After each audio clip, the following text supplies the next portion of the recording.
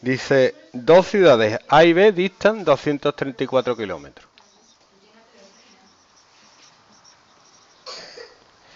De A sale un autobús en dirección a B y simultáneamente sale de B uno en dirección a A. Tardan en cruzarse una hora y 30 minutos. Una hora y 30 minutos es 1,5 horas, ¿vale? ¿Cuál es la velocidad de cada uno sabiendo que el del autobús supera la del tren en 5 km hora? Uno va a X y otro va a X más 5. Entonces tú sabes que lo que recorre uno, que es X por 1,5, la velocidad por el tiempo, más lo que recorre el otro, que es la velocidad por el tiempo, como se cruzan, la suma de lo que recorren los dos tiene que ser 234 en ese momento, ¿vale? Claro, no, no recorren lo mismo. Pero la suma de los dos es 234. Siempre se crucen, en el momento que se cruzan, uno ha recorrido, por ejemplo, 100, el otro ha tenido que recorrer 134.